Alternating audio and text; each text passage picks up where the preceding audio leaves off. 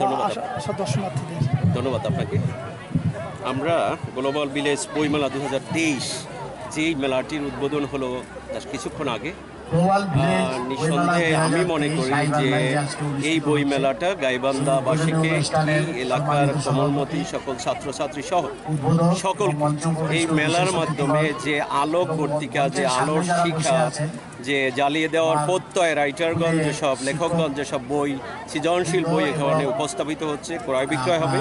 এর মাধ্যমে শিক্ষা সংস্কৃতির অগ্রগতি এবং শিক্ষা ব্যবস্থা নিঃসন্দেহে ভূমিকা রাখবে গাইবান্ধার সকল শ্রেণির শ্রেণি পেশার তথা শিক্ষক ছাত্রছাত্রীদের।